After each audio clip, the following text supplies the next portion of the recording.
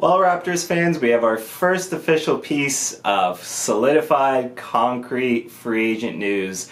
And I think it's one that we saw coming for the most part. Jakob Poeltl is staying in Toronto. It's JJ Buckets. I'm going to do a brief conversation on it. It's probably going to be a little bit more akin to, you know, the video that I did for Gradey Dick when he got drafted. Just a quick reaction. So like the video, you know the drill with that. Subscribe to the channel if you're new here. If you plan on betting on sports, check out my link in the description below. Other than that, let's get on with it. So Jakob Poeltl has officially inked a deal with the Toronto Raptors. The deal is going to be four years, $80 million, and I believe uh, Woj said as well that the last year of the deal is going to be a player option, so yeah, Jakob can opt out if you want to.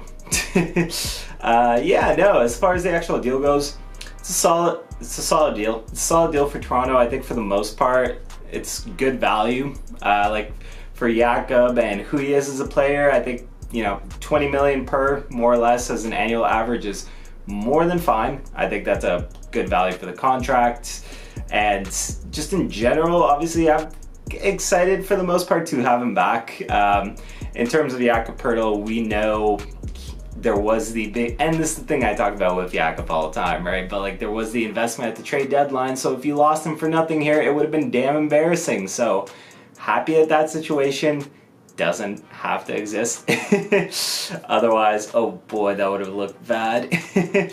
but yeah, Poeltl is here for the near future. He's probably going to be the starter at center for the foreseeable future for Toronto, which again, I think is fine. I think he's a good defensive anchor at that spot. He's a good rebounder as well, and offensively, you know, both in terms of being a pick and roll partner and in terms of, you know, a little bit of passing skill as well. I think Jakob is a good fit with the team there, and it makes me reasonably excited. Um, you know, just having him here moving forward again, just not constantly worrying about that center position as Raptors fans have over the past couple of years is nice. It's nice to have a long-term answer there, so to speak. So it's a good deal. it's a very good deal. Now, obviously, this isn't the last that we're going to hear of Toronto. The big one is naturally going to be the Fred VanVleet situation and what happens there. Reportedly, uh, the two camps in terms of uh, Fred, sorry, I guess three camps technically in terms of Fred's camp, uh, the Houston Rockets camp, and the Raptors camp are going to be meeting in LA to discuss Fred's future. So, depending on that, you know, hit uh, Jakob's number one uh, pick and roll partner from last season, at least on the Raptors, may or may not be back, and depending on what kind of unfolds there and where the pieces fall from there on out, it's going to be an interesting offseason. But I think the one thing that Raptors fans really want to see, especially amongst the free agents of the three guys that you could have potentially had out there, obviously with Fred Van VanVleet, Gary Trent Jr., and Jakob Poeltl. I think the one piece amongst the three that you were really, really banking on returning and really hoping would return would be Jakob.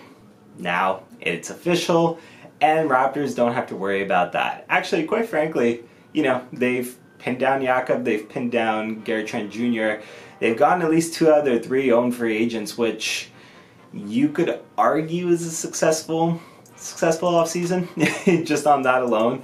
Uh, but yeah, it'll be interesting where the direction of this team goes from here.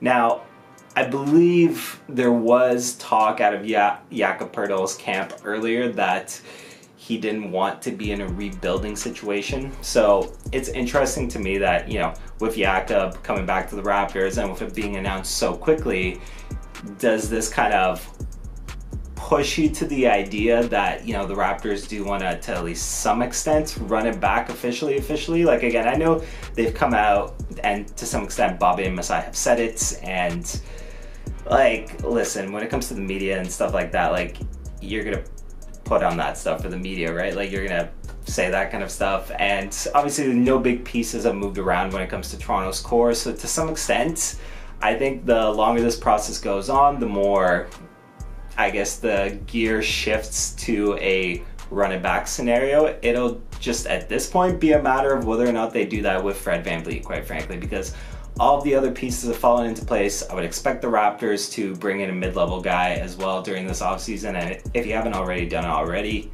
wow, that excuse me, that sounded weird, but you know what I mean. If you haven't done it already, go check out my last video where I talked about some mid-level guys that I think would be great for this team. Other than that, yeah, well, this is the start to the uh, offseason officially for the Raptors. Again, first piece of concrete news, Jakob Poeltl is back on the team. Yeah, it's a good day.